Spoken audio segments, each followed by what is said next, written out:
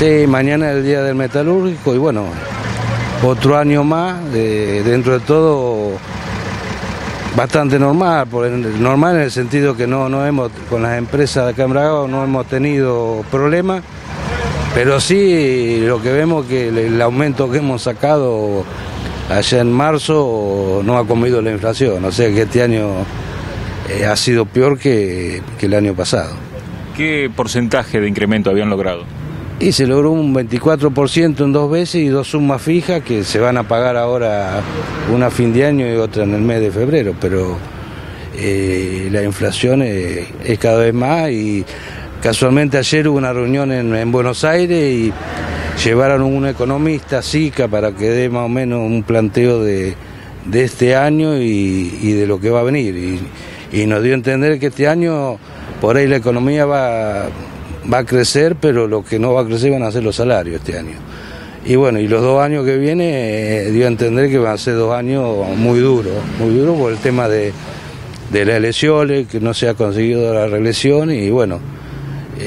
no sabemos lo que va a hacer el gobierno. Calculo que va a, tener que terminar, pero la expectativa por ahí para los trabajadores no va a ser eh,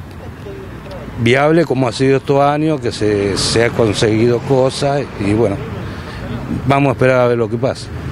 Eh, sabemos que el secretario general del gremio es muy cercano, digamos, al, gobierno, está dentro del, ala eh, gremial de la CGT cercana al gobierno. Eh, ¿Esto no les ha permitido tener algún tipo de, beneficio extra, digamos? Y los beneficios extra, por ahí te puedo explicar. Nosotros una vez se nos dio a entender de que toda empresa que al estar cortada la exportación metalúrgica que tenga algún problema, que a través de él lo podía arreglar y bueno, en muchas sesionales se ha conseguido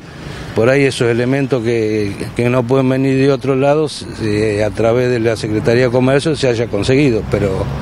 y después también está el tema de las obras sociales, que ahora aparentemente la presidenta va dentro de estos días va a dar que, va a entregar plata a las obras sociales. Pero el, tema pasa que, bueno, ahí empezó a preguntar más o menos a las 53 sesionales cómo habían salido los resultados y, creo que solamente en cuatro, sin, eh, en la provincia creo que en, dos o tres lugares había ganado, eh, bueno, Insaurralde y en las demás sesionales ha ganado más, a pesar de que ¿Usted se eh, refiere al distrito? Eh. A los distritos, bueno, ni hablar de Córdoba, Santa Fe, por eso que,